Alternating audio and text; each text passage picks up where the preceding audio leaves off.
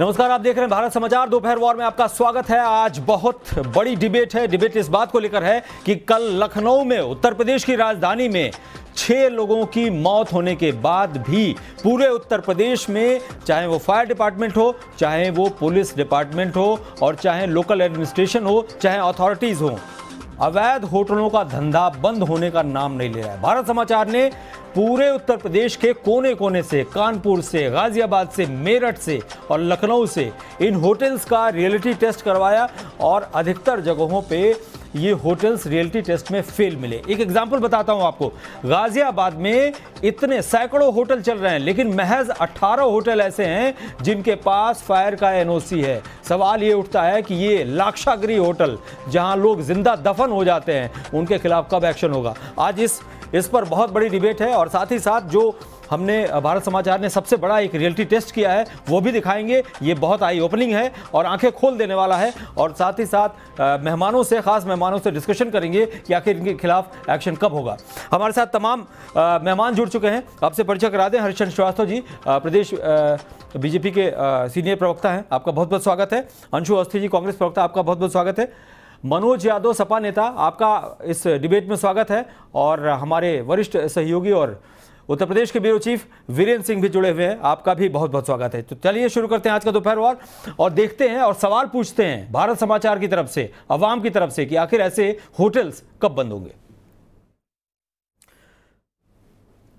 तो सबसे इंपॉर्टेंट सबसे पहले रुख करते हैं वीरेंद्र सिंह का। वीरेंद्र जी, बहुत इंपॉर्टेंट है कि ये होटल्स जो लगातार इस तरह से चल रहे हैं, इनके खिलाफ कैसे एक्शन होगा? आज ये खबर आई है कि पुलिस की तरफ़ से चार बाग में होटल्स के खिलाफ एक्शन हो रहा है। वहाँ छापेमारी की कार्रवाई हो रही है। कल एलडीए के वीसी का बयान आया था कि अगर अवैध होटल चल रहे हैं तो वहाँ की स्थानीय पुलिस की ज़िम्मेदारी है कि उनको रोके। उन्होंने टोपी ट्रांसफ़र कर दी। पुलिस ने यहाँ जाके अपनी खानापूर्ति कर दी। मसला ये है कि इस तरह के होटल्स आखिर किस नेक्सस पर चल रहे हैं? रमन जी एक दिन की समस्या तो है नहीं, बहुत पुरानी समस्या है। और इस पर इतना आसान नहीं होगा कार्रवाई कर पाना लखनऊ में, चूँकि व्यापार मंडल से लेके तमाम सारे संगठनों का दबाव भी रहता है संस्थाओं पर। लेकिन ये टोटल एलडीए की गलती है। एलडीए की बेईमानी से होटल बनते हैं और स्थानीय थाना पुलिस, ये दोनों मिले हैं। थाने की पुलिस अलग पैसा लेती है। जब एलडीए नोटिस जारी कर देता है निर्माण का तो थाना पुलिस पैसा लेकर उसको निर्माण कराती है और एलडीए के इंजीनियर अलग पैसा लेते हैं। ये बरसों से परंपरा चली आ रही है। इसमें कोई परिवर्तन नहीं हुआ है। आज एसएसपी गए हैं, कल इतनी बड़ी घटना हुई, आज फिर एसएसपी के नेतृत्व में अभियान चल रहा है। आप देखिए, पान दरीबा में, गली में और घरों में को अंदर चले जाइए आप। सौ सौ मीटर अंदर पैदल गलियों से तब जाके होटल खुले हुए हैं, नाका में, चार बाग में। तो तो उद्योग बना हुआ है, पूरा अवैध होटलों का। राजधानी लखनऊ में एकदम अगर एक है तो एक होटल में आग लगी, तीन जले। अगर कहीं और कंजेस्टेड इलाके में आग लगी होती तो दसियों होटल जले हम अपने पीसीआर क्रूज से रिक्वेस्ट करेंगे कि हमारे जो भारत समाचार के रियलिटी टेस्ट में जिन जिन शहरों का जो रियलिटी टेस्ट किया है वो भी दिखाएँ और जी एक जो सबसे बड़ा इशू ये है कि अब वक्त आ गया है कि इन होटलों को बंद कराया जाए तोड़फोड़ की जाए इनका दोस्तीकरण किया जाए राजनीतिक दबाव ना माना जाए। बिल्कुल ठीक बात है। हमारे साथ अंशु अवस्थी जुड़े हुए हैं। अंशु जी आपसे जानना चाहेंगे ये मसला कोई पॉलिटिकल मसला नहीं है। ये मसला है एक विल पावर दिखाने का, ये मसला है एक्शन लेने का। पिछली सरकारों में एक्शन हुआ कि नहीं हुआ, इस सरकार में एक्शन होगा कि नहीं होगा, इसके बाद कोई और भी सरकार आ जाएगी। सवाल ये है कि ये हम सबकी, पूरे उत्तर प्रदेश के नागरिकों की सुरक्षा से जुड़ा हुआ इशू है। और इसमें किसी एक पॉलिटिकल पार्टी की या सरकार की डेफिनेटली जो सरकार, जो सत्ता में है, उसकी ज़िम्मेदारी है। लेकिन ये खाली कह के कोई भी नहीं बच सकता कि पिछली सरकारों ने अभी तो इनकी सरकार, इनको एक्शन लेना चाहिए। पिछली सरकारों ने भी कुछ नहीं किया। मुझे लगता है कि इस पर एक आम राय बना के इसको एक्सपोज करना चाहिए इस नेक्सस को। नहीं, निश्चित तौर से रमन जी, सरकारों के ऊपर दोषारोपण करने समस्या का हल नहीं होगा।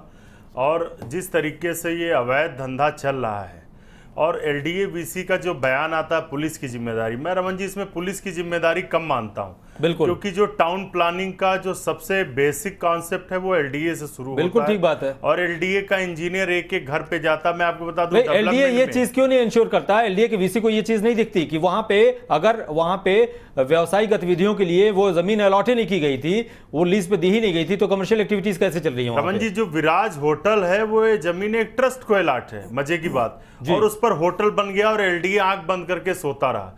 सबसे बड़ी बात यह कि एलडीए के अधिकारियों के इस तरीके के शर्मनाक बयान आने के बाद यदि सरकार इन पर एक्शन नहीं लेती तब सवाल सरकार पर ज़रूर खड़ा बिल्कुल ठीक बात है। एलडीए जी। कहता है कि एलडीए का वीसी इतना जिम्मेदार आईएएस अफसर होता है वो कहता है कि नहीं ये पुलिस की ज़िम्मेदारी। और सरकार के नुमाइंदे इस बात को सुनते रहते उस पर एक्शन नहीं। यानी आगे भी एलडीए आँख बंद करके सोता रहेगा। उन्होंने ये इशारा कर दिया। सरकार भी तो बैठी है खाली एलडीए ही थोड़ी है बिल्कुल। हरीश जी से पूछते क्यों नहीं प्रमुख सचिव सचिव और मुख्यमंत्री कार्यालय इसका संज्ञान लेता है? हरीश जी अब अब मुझे लगता है कि वो समय आ गया है कि पिछले समय में अगर इनका जो नेक्सस बना हुआ था चाहे वो होटल माफिया का हो फायर डिपार्टमेंट का हो स्थानीय पुलिस का हो या किसी और का, या अथॉरिटीज़ का हो एलडीए हो, या कोई भी और लोकल अथॉरिटीज़ का हो डिफरेंट डिफरेंट शहरों में जो भी अथॉरिटीज़ हैं। अब वो टाइम आ गया है, हरीश जी, कि इनके नेक्सस को एक्सपोज करना होगा, इसलिए कि जनता की सुरक्षा, उनकी उनकी जान से खिलवाड़ का सवाल है। देखिए, रमन जी, अगर बहुत ईमानदारी की बात मैं करूँ, और मैं एक बात से, श्री बीरेंद्र सिंह जी की बात से सहमत हूँ कि इसमें एक नेक्सस है, पूरा का पूरा। ना अकेले पुलिस जिम्मेदार है, न अकेले एलडीए जिम्मेदार है, न अकेले शासन प्रशासन जिम्मेदार है इसमें पॉलिटिकल लोगों से लेकर के सबकी मिली भगत है। प्रभावशाली लोग भी सब इसमें मिले हुए हैं। ये तो चलो मैं मान लूँ एल डी का है कुकरेल नाले में आधे मैं निषादगंज से जब उधर जाता हूँ जी। आधा कुकरेल नाले में चार चार मंजिला बिल्डिंगें पिछली सरकार में बन गई कैसे बन गई? आरा पूरा नाला आप देखिए यहाँ से वहाँ तक कब्जा हो गया। तो ये जो हालात है ये बिना राजनीतिक संरक्षणों की या सरकारों के कैसे होता चला गया? बिल्कुल ठीक बात है। लेकिन मैं अब अब आप, क्या मैं आपके आपके इस चैनल पे आता हूँ जब पिछली ये मेट्रो बनने के कारण मैं पीछे की तरफ़ से आता हूँ तो गली के आप पीछे की तरफ़ देखिए मल्टी स्टोरेज रेजिडेंशियल कॉम्प्लेक्स बने हैं। कल कोई दुर्घटना हो जाए तो आपका फायर ब्रिगेड की फायर ब्रिगेड की गाड़ी पहुँची नहीं पाएगी। पहुँच कल कल ऐसा ही हुआ और और पूरे गोमती नगर में इंदिरा नगर में जो रेजिडेंशियल इलाके हैं उसमें जो बड़े बड़े तीस तीन हज़ार पैंतीस सौ स्क्वायर फीट के जो प्लाट थे उसमें सब कमर्शियल कॉम्प्लेक्स बन गए। तो ये जो पूरा का पूरा सिस्टम है ये पूरा का पूरा सिस्टम इसके लिए जिम्मेदार है पुलिस भी तो जिम्मेदार आखिर है। इसका इसका प्लान ऑफ़ एक्शन क्या होगा? जैसे गवर्नमेंट आपकी है नहीं, तो अब ये निश्चित रूप से आ, सरकार की ज़िम्मेदारी है और सरकार अपनी ज़िम्मेदारी को बखूबी निभाने के लिए भी तत्परता से कार्यवाही किया है बहुत दुर्भाग्यपूर्ण घटना है। लेकिन हम सब रोज देख रहे हैं पार्किंग की जगह नहीं होटल खड़े हो गए पार्किंग की जगह नहीं मोटरसाइकिल और स्कूटर खड़ी करने की जगह नहीं मल्टी स्टोरी रेजिडेंशियल कॉम्प्लेक्सेस खड़े हो गए।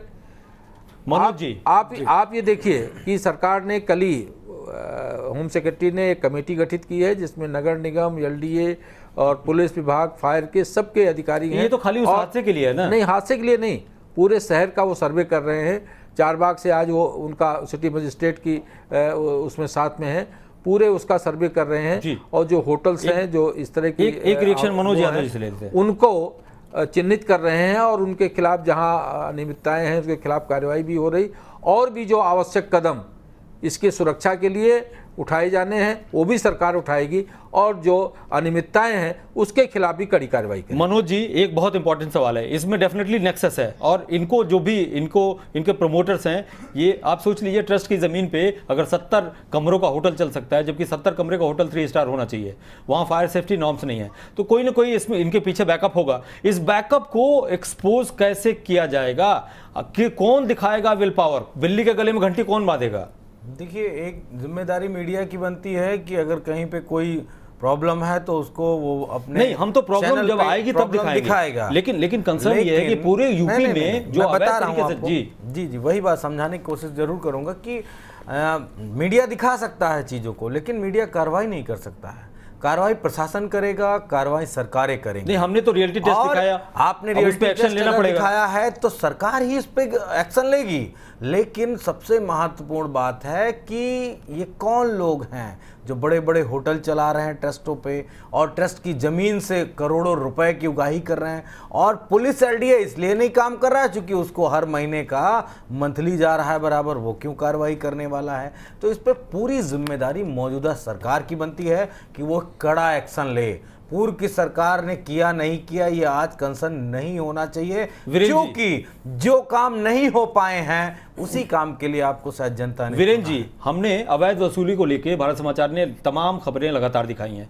कल एक डिबेट में एक एक ऐसा ही एक डेटा कोई सज्जन शेयर कर रहे थे कि वहाँ जो हिसाब किताब है चारबाग इलाके में टेंपो से ही करोड़ों टेंपो वालों से वसूली से करोड़ों की कमाई होती है। तो वहाँ जो होटल चल रहे हैं, वो भी करोड़ों की कमाई कराते होंगे। तो कौन बोलेगा उनके खिलाफ? देखिए, सब अधिकार तो पुलिस के हाथ में है, जहाँ कार्रवाई की बात आती है। एलडीए के इंजीनियर भी जाते हैं तो उनको मार पीट के हमला हो जाएगा, उसके लिए पुलिस फोर्स की ज़रूरत होती है। या तो अलग इन्फोर्समेंट है, अलग वो भर्ती करें, पुलिस फोर्स बनाएँ। पुलिस पीएससी उनको मिल नहीं पाती है। दूसरा कारण, बेईमानी भ्रष्टाचार है। नाका थाना जो है वो चारबाग इलाका पूरा उसमें आता है और नाका का। जी। इसीलिए तो नाका में पोस्टिंग के लिए जो है लाखों रुपए चलते हैं। वहाँ पर इंस्पेक्टर की करोड़ों में कमाई है। तो पुलिस तो हर जगह पुलिस के हाथ में अधिकार है लाठी उसके पास है। समस्या ये है कि हम लोग अब उम्मीद ये करें कि ये घटना सामने आई है और योगी की सरकार में इस पर संज्ञान लिया गया है तो उम्मीद ये है कि ये सरकार कुछ कर सकती है। क्योंकि यहाँ पर राजनीतिक प्रेशर बहुत ज़्यादा काम नहीं करेगा। जहाँ लोगों की जान छः छः लोग मर गए कल जल के। बिल्कुल। और ये लोग धंधा के नाम पर लोगों की जान से खिलवाड़ कर रहे हैं लाक्षाग्रह बना हुआ है। लखनऊ में अगर ऐसा हो रहा है तो अब ये सरकार देखिए मज़बूत सरकार है। योगी जी को भी ये बात पता चली है उनकी भी जानकारी में उन्होंने मुआवजा भी दिया है। अब वो आज अगर कार्रवाई के निर्देश देते हैं और ये कार्रवाई होती है ध्वस्तीकरण किया जाता है तो इसकी बहुत सराहना होगी। बिल्कुल सराहना और लोग उम्मीद कर रहे हैं कि ये सरकार सख्त कार्रवाई करेगी क्योंकि और सरकारों में लोग ये उम्मीद नहीं करते थे। हरीश जी, ये वहाँ पर तमाम राजनीतिक संपर्क ज़्यादा मज़बूत माने जाते हैं लेकिन ये सरकार को अब दिखाना है कि वो राजनीतिक दबाव के बजाय लोगों की जान माल की ज़्यादा चिंता है। जी की बात में सत्यता है इसमें दो राय नहीं।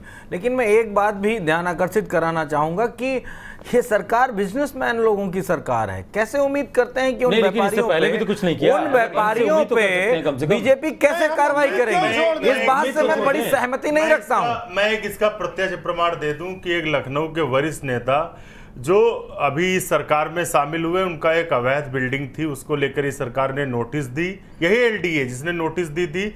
अंततोगत्वा वो शामिल हो गए उन्होंने अपनी सीट छोड़ी दोबारा वो एमएलसी बने। सभी उनको जानते हैं आज उनकी बिल्डिंग पे क्या कार्रवाई हुई। एक दस्ता वहाँ गिराने गया था इसी सरकार में क्या कार्रवाई हुई? तो ये सरकार सिर्फ़ कम निगोशिएशन करती है कि किस तरह से उनका निगोशिएशन हो जाए उनका काम हो जाए अवैध और आप एक मतलब नेता के लिए कहें नहीं परेशान अंश- अंशुल जी को मैं ये बताना चाहूँगा कि अगर उस जिस प्रकरण की वो चर्चा कर रहे हैं अगर वो उसकी जानकारी करेंगे तो उसके खिलाफ जो भी अवैध निर्माण था उसके खिलाफ जो कानूनी प्रक्रिया है वो आज भी आन है और उस पर कार्रवाई चल रही है। और रहा जहाँ तक सवाल इसका सरकारी ज़मीन का मुआवजा ले लिया था उन्होंने। जहाँ तक सवाल इसका है अब वो कले कले जनता पार्टी के लिए। पर्टिकुलर मामला है। हम हम हब है हज़ारों में बात कर रहे होटल अवैध चल रहे हैं लोगों की जान ठीक बात है, बिल्कुल ठीक बात है। ज़्यादा बड़ा इशू मैं मैं आपको ये ये आपको बताता हूँ कि जैसे मनोज जी कह रहे थे हम नहीं कर पाए। दिक्कतें कहाँ हैं? आप दैनिक जागरण चौराहे जापलिन रोड पर चलिए। एक से एक मल्टी स्टोरेज कॉम्प्लेक्स बने हैं वो रोड कितनी चौड़ी है अप्रोच रोड जो उसको सबको कनेक्ट करती है। कल को कोई वहाँ दुर्घटनाएँ हो जाएँ तो क्या वो सफिशियंट न वहाँ कोई पार्किंग प्लेस है न वो अप्रोच रोड है। नहीं जिसने भी बनवाया। तो इसी तरह के प्रभाव कल को उस पर कोई कार्रवाई होगी तो समाजवादी पार्टी कहेगी कि साहब हमारे ऊपर राजनीतिक विद्वेश बस कार्रवाई हो रही है। इस तरह होटल कोई नहीं कहेगा। कहेगा तो कहने दीजिए। होटल हो- सरकार को तो नहीं इनिशिएटिव लेना पड़ेगा। सरकार तो सेठ तो इनिशिएटिव- लूट लिया पूरा सरकार तो इनिशिएटिव ले रही है। आप अच्छा जब इनकाउंटर कर रहे हैं तब तो किसी ने पे वो चाहे गोमती नगर हो चाहे इंदिरा नगर हो चाहे ये क्या जो वो राजा वीरेंद्र जी जी, हो चाहे वीरेंद्र जी एक इंपॉर्टेंट बात है हरीश जी कि सरकार इनिशिएटिव अगर लेती है तो डेफिनेटली उसमें वो ट्रांसपेरेंट एक्शन लेगी। और अगर कोई ट्रांसपेरेंट एक्शन होता है तो उत्तर प्रदेश की 22 करोड़ जनता को ऐतराज नहीं होगा चाहे वो समाजवादी पार्टी के लीडर की बिल्डिंग हो, होटल हो, चाहे वो बसपा का हो, चाहे वो सपा का हो, चाहे बीजेपी का हो। अगर आप ट्रांसपेरेंसी के साथ काम करेंगे तो डेफिनेटली ये आपके लिए एक माइलस्टोन होगा। क्यों वीरेंद्र जी? निश्चित रूप से सरकार पूरी ट्रांसपेरेंसी के साथ अब तक काम कर रही है, आगे भी ट्रांसपेरेंसी के साथ करेगी और पूरी दृढ़ता के साथ जो इस तरह के अवैध निर्माण है या जो जिसमें नागरिकों की सुरक्षा या लोगों की सुरक्षा बाधित होती है, उनके खिलाफ कड़ा से कड़ा एक्शन मिलेगी सुनिए नोएडा नोएडा रमन जी, जी संजय सेठ को राज्यपाल ने एमएलसी बनाने से मना कर दिया। समाजवादी पार्टी ने उस बिल्डर को इतना प्रेम है कि उसको सांसद बना दिया राज्यसभा का। पूरा लखनऊ लूट लिया उसने। शालीमार के नाम पर तमाम सरकारी ये अफटरान जो नदी किनारे इसकी ज़मीन वो कब्जा किए डाल रहा था। वो तो मीडिया ने शोर मचाया तब जाकर वो बच पाई ज़मीन। नहीं वो भी ज़मीन सरकार उसे दिए जा तो रही। इन सबके खिलाफ एक्शन पूरे शहर को तो इन लोगों ने कंक्रीट का जंगल बनवाया। नहीं सारी अब चार बाग में होटल में आग लगी है। हम उम्मीद हम तो जो सरकार है उसी से उम्मीद करेंगे। बिल्कुल। लो लेकिन यह है कि हम ये उम्मीद कर रहे हैं कि राजनीतिक दबाव के बजाय इस बार कार्रवाई होगी। ढाई तीन सौ होटल ऐसे हैं जो अवैध हैं जिनका कोई नक्शा नहीं है। जो आवासीय थे वो व्यवसायिक नहीं हो सकते। वहाँ अगर चल रहे हैं उन पर कार्रवाई होनी चाहिए। तोड़ फोड़ों जी गिराया जाना चाहिए। बिल्कुल गिराया जाना चाहिए। हरीश जी। निश्चित रूप से मैंने आपको रमन जी पहले ही बताया कि सरकार ने गृह गृह सचिव ने एक कमेटी फ़िलहाल तो लखनऊ के लिए बनाई है। जो लखनऊ का पूरा सर्वे कर रही है। कितने वक्त में आएगी? मुझे लगता है आज भी जो जहाँ तक की इनकी जाँच हो जाएगी आज भी चार बजे ये बैठेंगे एडीजी पुलिस और ये सारे लोग और उसके आधार पर ये कार्रवाइयाँ सुनिश्चित करेंगे। आगे की पूरे शहर की भी जो जाँच पड़ताल है इस आधार पे होगी कि जो अवैध बिना जिनका नक्शा नहीं पास हुआ जहाँ अवैध निर्माण हुए उनको किस तरह से अ, सरकार उस पर कार्रवाई उनके खिलाफ करे और जो सुरक्षा व्यवस्था है उसको कैसे सुनिश्चित अंशु जी इस पे कार्रवाई अंशु जी और मनोज यादव मुझे लगता है कि अगर लखनऊ से वीरेंद्र जी को भी शामिल करते हैं अगर लखनऊ से सरकार ने ये एक स्ट्रांग इनिशिएटिव लिया तो इसका इम्पैक्ट पूरे उत्तर प्रदेश में जाएगा और डेफिनेटली जाएगा। मैं आपको एक एग्जांपल बताता हूँ। नोएडा उत्तर प्रदेश की राजधानी लखनऊ है लेकिन नोएडा में इंक्रोचमेंट के खिलाफ जितना एक्शन होता है शायद इतना लखनऊ में नहीं होता है। तो कंसर्न ये है कि अगर लखनऊ से ये इनिशिएटिव लिया जाए, आप कुछ मत कीजिए। चार बाग में और लखनऊ में जितने बड़े बड़े जितने माफिया हैं, जिनके होटल्स अवैध तरीके से चल रहे हैं या अवैध तरीके से बिल्डिंग्स बनी हैं, वीरेंद्र जी, अगर इनके खिलाफ, अगर दो चार के खिलाफ एक स्ट्रांग एक्शन हो गया तो आगे से ये नहीं होगा। देखिए इंक्रोचमेंट पे कुछ होता था, जैसे पहले इनकी अंशु यादव, मनो, अंशु जी और मनोज यादव सरकार थी, ये लोग कुछ होने नहीं देते थे। दस साल में तो यही हुआ है। हम ये नहीं कहते कि दस साल में होटल बने हैं और पहले से भी बने हैं।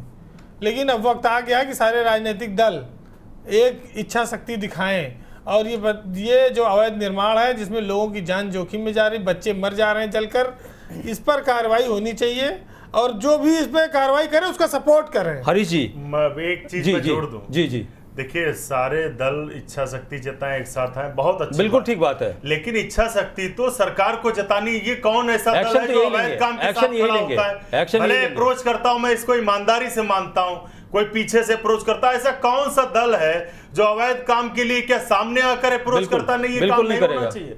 इच्छा तो सरकार को जतानी है। हम तो कह रहे हैं जो अवैध उसको तोड़िए सीज करिए। अभी जिनके व्यापारियों के होटल टूटना शुरू होंगे 2019 में चुनाव है कौन पार्टी जोखिम लेगी? बिल्कुल। इसीलिए मैंने तो यही जी कहा तो इसीलिए मैंने कहा कि जिनको करना है वो करके तो दिखाएँ। कुछ तो करें जो एक दो तीन चार गिनती के उंगलियों पे कार्रवाई करिए ना। चाहे मना किया है? रमन जी चाहे ब्लैक मनी हो जी। और चाहे सिस्टम में सुधार की बात हो ट्रांसपेरेंसी लाने की बात हो कौन सी भारतीय जनता पार्टी की कहाँ से आई सरकार black ने तो गरीब के पैसे को ब्लैक मनी का है, अप्रिय निर्णय भी लिए। गरीब के पैसे को ब्लैक मनी कहते अप्रिय निर्णय भी लिए। और गए, और ये सिस्टम मर गए, हो। ये सिस्टम ट्रांसपेरेंट हो। इसलिए डिजिटल जी, आप बात को नहीं इंडिया समझते हैं। हम- ब्लैक। बैंक में अभी भी जमा है। बहुत अच्छा हुआ मान लिया। चलिए बहुत अच्छा हुआ। मैं आपको बताता हूँ हमने जो रियलिटी टेस्ट करवाया था उसमें गाजियाबाद मेरठ तमाम। गाजियाबाद का एक छोटा एग्ज़ाम्पल बताता हूँ आपको। जो गाजियाबाद में बड़े बड़े फाइव स्टार होटल होटल्स हैं उनके पास ही सिर्फ़ एनओसी है। नामी होटल है तुषार ग्रैंड उसके पास एनओसी नहीं है। कोहिनूर होटल सिल्वर स्पून इन सब के पास एनओसी नहीं है। बड़े बड़े होटल्स हैं ये। होटल कृष्णा सागर इनके पास एनओसी नहीं है। हमारे पास इस तरह के पाँच सात शहरों के रियलिटी टेस्ट हैं। रियलिटी चेक हमने करवाया था। हमारे पास एक ये इन्फॉर्मेशन आ सकती है तो डेफिनेटली आपके पास आपके सिस्टम के पास ये इन्फॉर्मेशन होगी। हमारा एक ही सवाल है क्या 2019 से पहले कम से कम इस तरह के अवैध निर्माणों को ध्वस्त कराया जाएगा? ये सवाल है हमारा। चाहे वो किसी के हो कितने भी पावरफुल आदमी के हो। नहीं निश्चित रूप से मैंने रमन जी आपको पहले बताया कि सरकार इस पर कड़ी कार्रवाई करेगी। नहीं कड़ी कार्रवाई तो सिर्फ़ ढहाना होता है। वीरेन जी कड़ी कार्रवाई तो सिर्फ़ ढहाना होता है इसलिए कि और और कोई कड़ी कार्रवाई नहीं होती है। अगर वो इलीगल ज़मीन पर बने हैं इलीगल तरीके से नहीं जो इलीगल बने हैं वो तो निश्चित रूप से ढाए तो जाए सारे इलीगल हैं चार बाग वाले आपके। बाकी आपके, आपके चार बाग अरे, गरीबों की ज़मीन छीन ली रमन जी। जो मेरे पास पूरे उत्तर प्रदेश की सरकार ने लेकिन एक भी व्यापारी का होटल नहीं गिराया। अगर गिराया हो तो बता दो की पूरे प्रदेश भर में कहीं गिरा हो तो बता दो। गरीबों ने अगर मकान बना रखा था योगी सरकार ने तो गाँव में गरीबों को मकान बना रखा था पूरे सपा मकान सरकार गिरा दिए। गरीबों उनको की बेघर कर दिया थी। लेकिन दबंगों ने कब्जी की नहीं गिर सकते हैं योगी ये सरकार वही लोग हैं गरीबों की इसीलिए मैं कहता हूँ। बार बिजनेसमैन वालों की सरकार बीजेपी बिजनेसमैन जंक्शन पार्टी है ये एक, मैं आपके चैनल पे बहुत अस्वस्थ होकर कह रहा हूँ किसी एक होटल पे कार्रवाई नहीं होगी आश्वस्त मैं होके फिर कह रहा हूँ क्योंकि ये लोग वो हैं जो सपा और बातें कर सकते हैं ये अपने को किसानों गरीबों की पार्टी कहते थे लेकिन काम किया सरमाएदारों के लिए अच्छा। सरमाएदारे ही इनके तो साथ खड़े रहे भूल गए क्या? और केवल पैसे तो था। केवल पैसे वाले लोगों तो था होटल। बना था ये दोनों सरकार के जो गिराया तो गिराया। तो आप सकते जी हैं। वीरेंद्र जी एक बात बताइए बड़ी इंपॉर्टेंट बात। आप मनोज यादव आपका कहना है आप लोग का कहना है कि ये सरकार नहीं करेगी। चलिए आपकी बात भी मान लिया। हालाँकि ये सरकार है सरकार सत्ता में है इनको अभी रहना है लंबे वक्त तक इसलिए हम उनसे उम्मीद करते हैं उत्तर प्रदेश की जनता उनसे उम्मीद करती है। अगर ये नहीं करेंगे तो क्यों ना सारी पार्टियों के वो लीडर्स जिन्होंने अवैध निर्माण कराया है ये खुद ही अपना निर्माण गिरवा के एक संदेश दे दें। अगर बीजेपी नहीं कर रही है तो रमन जी क्यों नहीं करते हैं क्यों? बंगला अगर- खाली कराने के लिए आदेश आया तो क्या बंगला नहीं खाली हुआ क्या? आदेश आया तब ना उसके बाद भी कितना अगर सरकारें मायावती ने मायावती इस देश में तमाम समस्याएँ हैं। इस देश में एक समस्या नहीं संपत्ति थोड़ी है, है जनसंख्या है गवर्नमेंट भीड़ है। महानगरों में रहने की व्यवस्थाएँ नहीं है। न्यायालय के एक एक ही बात कहूँगा तो वोट कि अगर सरकारों में जो कुछ भी सरकारी ज़मीन सुधार किया जा हैं, सकता है जब अवैध बना हैं, जिनसे उससे वोट टैक्स लीजिए। अगर उसने अवैध बनाया जी, तो उससे टैक्स लीजिए और टैक्स लेके उसको एनओसी दीजिए। तमाम सारी चीज़ें हैं व्यवस्थाएँ हैं। करिए ना कौन मना कर रहा है मैं चाहता हूँ बहुत गंभीर मुद्दा हम इस पर बात कर ले। देखिए होटल वाला जो सबसे बड़ा मुद्दा है मैं पहले देखा करता था। जो अग्निशमन विभाग है वो अकवादा वो मार्क ड्रिल करता था सभी होटलों में जाता था जो उनके इक्विपमेंट चेक करता था। आज अग्निशमन विभाग कहीं आपको देखने में नज़र आता है कहाँ है? कहीं पता चलता है कि इस तरह की कोई कार्रवाई चल रही है या पेपर विभाग तो जाँच कोई कार्रवाई के लिए कहेगा एलडीए कोई तो कहेगा ये अवैध संपूर्ण तौर से एलडीए और अग्निशमन विभाग की पूरी ज़िम्मेदारी है इस घटना में और सरकार ने अभी तक कोई कार्रवाई की है क्या? और ये के एक्टिव नहीं रहते, इसलिए इसलिए पुलिस का धंधा मुझे चलता रहता बता दीजिए चारबाग क्षेत्र के एलडीए के अधिशासी अभियंता या जे या जूनियर इंजीनियर किसी पर का- कार्रवाई हुई क्या? बराबर उनके संज्ञान में रहता है। हमेशा एलडीए के जो इंजीनियर वो देखते रहते हैं वहाँ पर क्या चल रहा है। क्या कोई कार्रवाई हुई? सरकार कोई कार्रवाई नहीं होती। बनारस की जो घटना हुई आज तक की निगाहें इस तरह की होती है रमन जी। या कि FIR भी अगर आप एक नया प्लॉट बनाते हैं एनडीए FIR का भी हुई है। तो वहाँ पे आपको की- पता चल चुका कितनी घटनाओं आपको जानना चाहिए हमारे पास वक्त विभागों के अधिकारी पूरी सिस्टम की जाँच भी कर रहे हैं। चलिए हमारे पास वक्त की कमी है आप सबका बहुत बहुत धन्यवाद। लेकिन हरीश जी से एक लास्ट एश्योरेंस कि क्या सचमुच उत्तर प्रदेश की जनता ये उम्मीद करे कि ऐसे लोगों के खिलाफ एक्शन होगा। बिना किसी भेदभाव के निश्चित रूप से। चलिए, आप सबका बहुत बहुत धन्यवाद हरिशन श्रीवास्तव जी, अंशु अवस्थी जी, मनोज यादव जी, वीरेंद्र जी। रुकते छोटे से ब्रेक के लिए। नमस्कार।